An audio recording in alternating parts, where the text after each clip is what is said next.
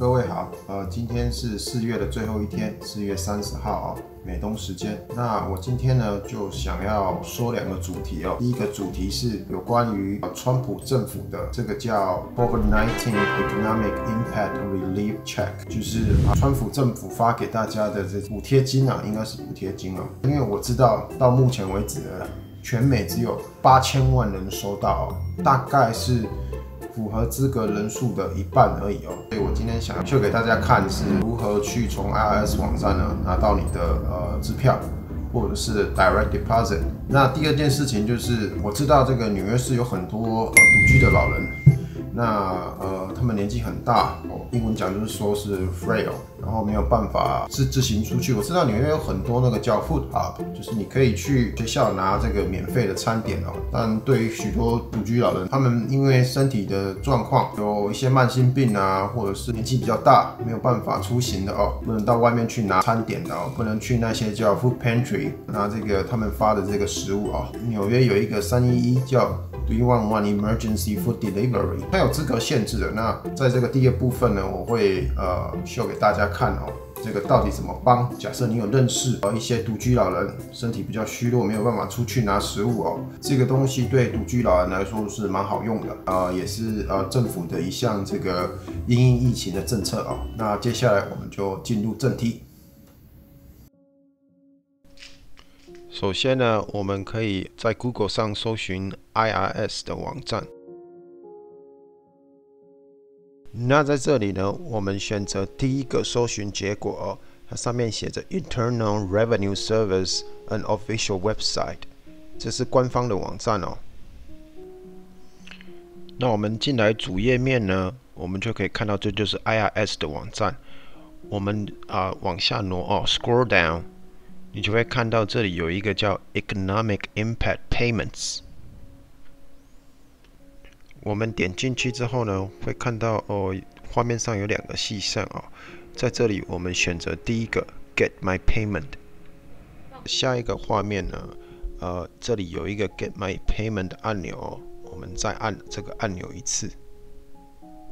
这个下一个画面呢，它显示它会用您的个人讯息来做查询，它不会把你的个人信息挪作他用。在这里我们点 OK。然后在这个下个画面呢，我们只需要填入你的 Social Security Number、你的出生年月日，还有你住家的地址、你的邮递区号，然后点 Continue 就可以了。这里有一个需要注意的地方哦，就是它的地址是有一定的格式哦。比方说你住在一二三 New York Avenue，那你就必须要填 New York Avenue，那个 Avenue 你要完整的拼写出来。那同理哦，Boulevard 也要把那个 Boulevard 完整的拼写出来。那再来呢是 Apartment Number，你那个 Apartment Number 呢是用这样子的形式去表示的哦，是一个井字号，那再加上您的 Apartment Number，在这里呢不需要填所在的城市跟州名哦，您只需要填好您的呃 Zip Code 就可以了。还有一点呢，如果您的地址是有 dash 的，中间有 dash 的，比方说是一二三 dash 四十五，您要把那个 dash 拿掉，变成一二三四五。那在填完必须要的资料呢，呃，点 continue，你应该就会看到你目前的 payment status。那有几个状况哦，第一个你会看到呃。他会说什么时候、哪一天会汇入您的户头？那还有第二个状况是，他需要您输入您的银行的转账，就是 routing number，还有你的 account number。那还有第三个状况呢，是他查询不到，是呃发生错误的情况哦。像这种情况的话，您只要退出。再多查询几次哦，就有可能可以查到您的状态。那还有另外一个可能性，就是说，呃，你可能不符合这次发放补助金的标准。接下来呢，我们看到这个是啊，New York City Food Delivery Assistance 的 website。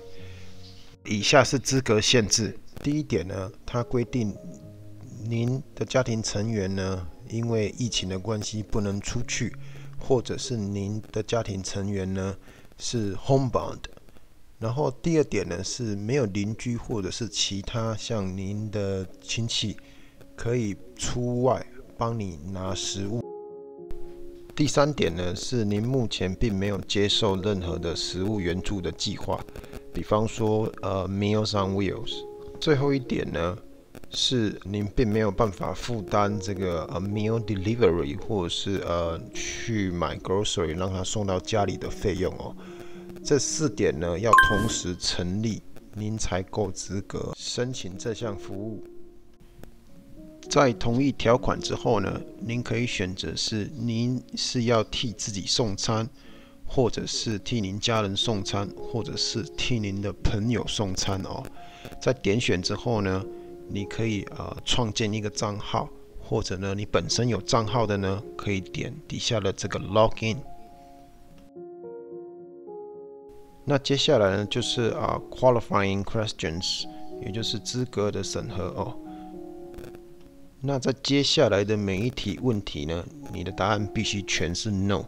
如果有一题呢，你的答案是 yes 的话呢，那你就会被啊 disqualified。在这边要注意的是，您送餐服务的对象呢，必须是要呃 homebound，而且是要呃 very frail，没有办法自己出门取餐的人才符合资格。接下来就是基本资料的填写。呃，像 first name 啊，last name 或是 communication preferences 是用 email 啊还是打电话哦？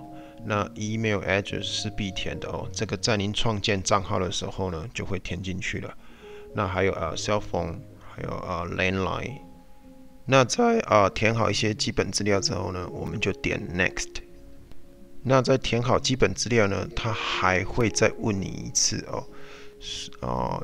就是呃，你能不能自己去拿餐点啊？类似这样的问题哦。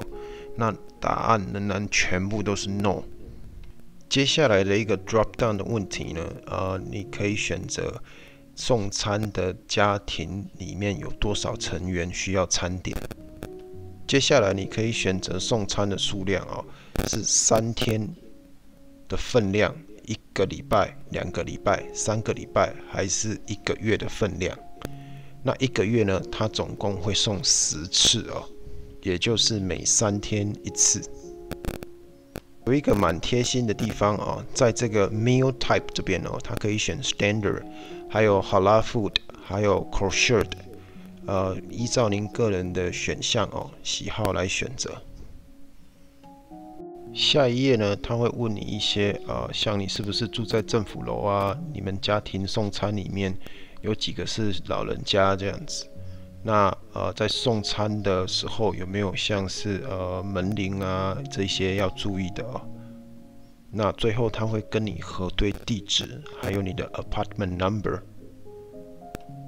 那在填好之后呢，只要点 next，那这个系统呢就会啊 place an order。那呃，他会给你一个确认码，你再把这个确认码呢抄起来就好了哦。